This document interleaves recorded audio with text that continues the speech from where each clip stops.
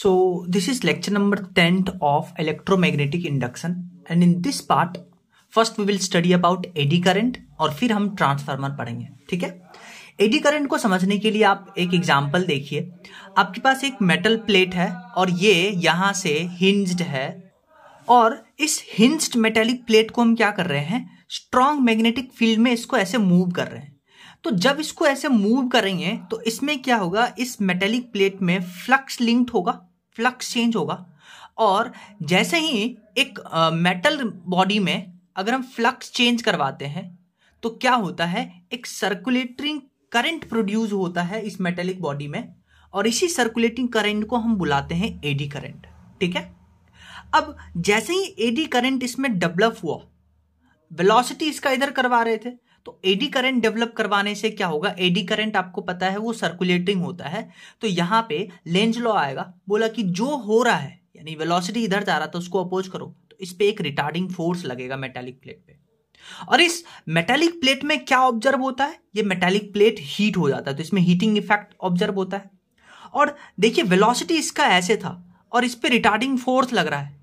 तो बेसिकली इसका जो ऑसिलेशन होगा, इसमें डैम्पिंग ऑसिलेशन इसमें रिटार्डिंग फोर्स लगेगा। और इसको डिस्कवर किया था फोकॉल के नाम के एक साइंटिस्ट थे, उसने इसको डिस्कवर किया था। तो इसी को बुलाते हैं एडी करंट अब इस फेनोमिना को कि जब आप एक मेटेलिक प्लेट को मैग्नेटिक फ्लक्स लिंक करवाते हैं, उसमें चेंज करवाते हैं तो एक सर्कुलेटिंग करंट बनता है, उसको एडी करंट कहते हैं, जिसके कारण से ये फेनोमेना होता है।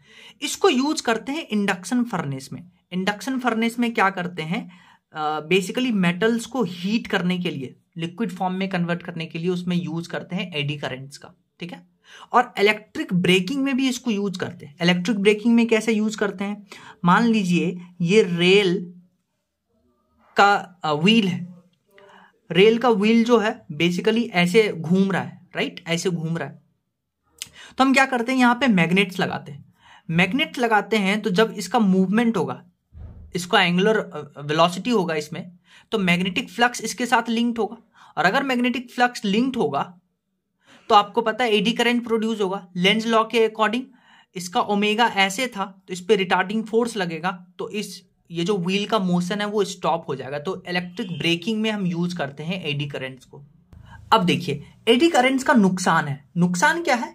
मान लीजिए आपके पास एक मेटेलिक प्लेट था और मेटेलिक प्लेट में हमने क्या किया है? मैग्नेटिक फ़ील्ड में इसको घुमा रहे हैं। तो क्या होगा? यहाँ पे एडी करंट प्रोड्यूस होगा, जिसमें हीट लॉस होगा हीटिंग इफ़ेक्ट होगा और रिटार्डिंग फोर्स लगेगा। तो ये मेटेलिक प्लेट कुछ देर के बाद घूमते घूमते ये स्टॉप हो जाएगा। लेकिन हम क्या करते हैं? इस मेटेलिक प्लेट को ऐसे कट करके स्लॉट्स में कट करके लगाते हैं। स्लॉट्स में कट करके लगाएँगे तो एरिया क्या होगा? वो डिक्रीज कर जाएगा। और आपको पता है रेजिस्टेंस होता है रो एल अपॉन ए अगर एरिया डिक्रीज कर जाएगा तो इसका रेजिस्टेंस बढ़ जाएगा। रेजिस्टेंस बढ़ जाएगा तो इसमें एडी करंट जो है, वो डिक्रीज कर जाएगा। और एडी करंट अगर डिक्रीज कर जाएगा तो ये दोनों जो फेनोमिना देखने को मिल रहा है, ये भी डिक्रीज कर जाएगा। ठीक है? तो ऐसे इसमें काम में लेते हैं। सिमिलरली आपसे कभी कभी पूछता है कि ट्रांसफॉर्मर्स को हम लेमिनेट करते हैं लेमिनेट का मतलब यही हुआ। लेमिनेशन का यही मतलब होता है कि उसका एरिया डिक्रीज करवाते हैं।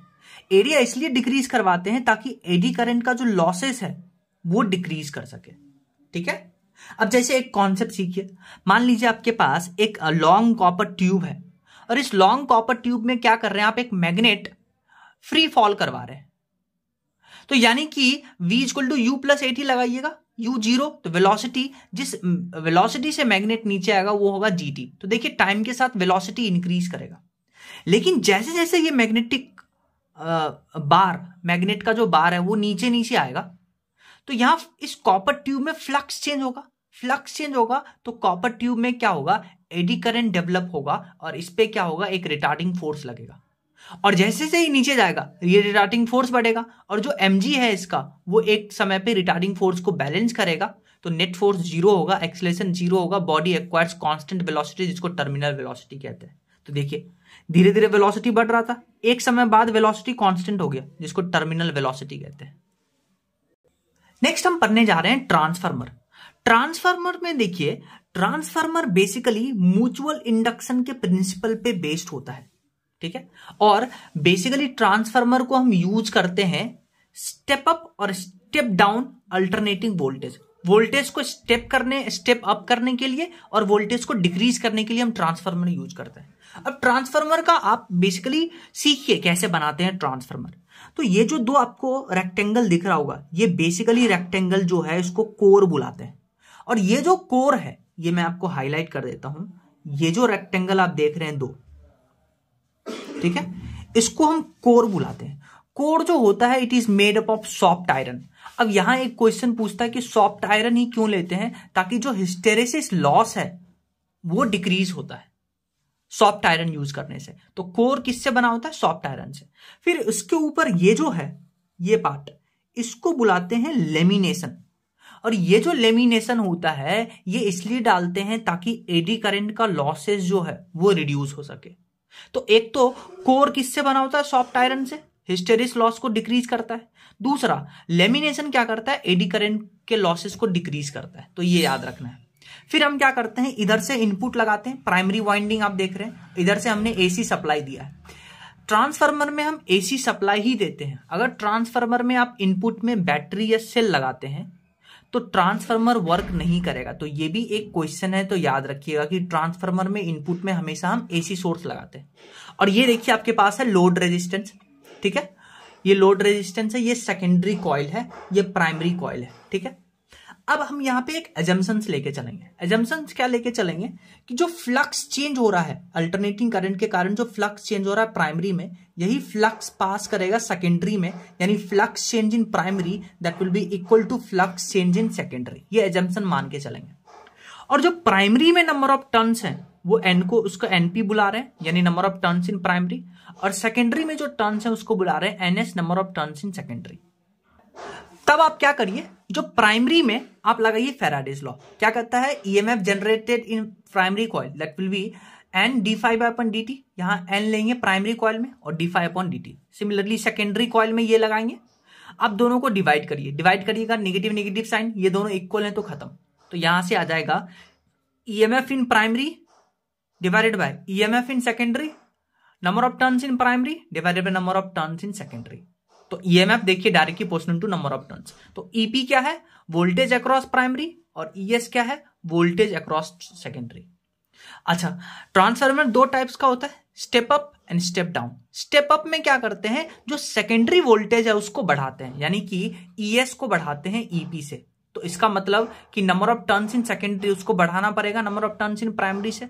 और स्टेप डाउन में क्या करते हैं? सेकेंडरी वोल्टेज को डिक्रीज करते हैं प्राइमरी से.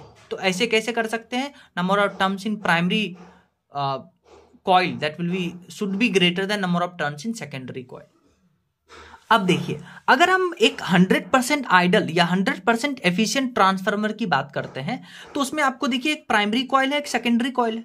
तो इधर से जितना भी पावर इन करते हैं पावर आउट उतना ही मिलेगा। कब? जब एक हंड्रेड परसेंट आइडल ट्रांसफार्मर है। तो power in equal to power out आपको पता है पावर क्या होता है? या तो वी लिखिए वोल्टेज वी को e भी लिख सकते हैं तो V into I input power कैसे लिखेंगे? हाँ इनपुट का वोल्टेज इंटू इनपुट का करंट आउटपुट पावर कैसे लिखेंगे? आउटपुट का, यानी कि सेकेंडरी का वोल्टेज इंटू सेकेंडरी का करंट अगर 100 परसेंट एफिशियंट ट्रांसफार्मर है तो input power will be equal to output power यानी ईपीआईपी यानी प्राइमरी में वोल्टेज प्राइमरी में करंट इजक्वल टू सेकेंडरी में ईएमएफ और सेकेंडरी में करंट इक्वल होगा? अब आप यहाँ से ईपी अपॉन ईएस करिए तो that will be I S upon IP ये तभी यूज़ करेंगे जब 100 परसेंट एफिशियंट ट्रांसफ़र हो। अगर एफिशिएंसी आपको गिवन है तो एफिशिएंसी होता है power output upon input output क्या है? पावर आउट इनपुट क्या है? पावर इन आउटपुट पावर को ऐसे लिखते हैं तो आप एफिशिएंसी से भी निकाल सकते हैं, ठीक है?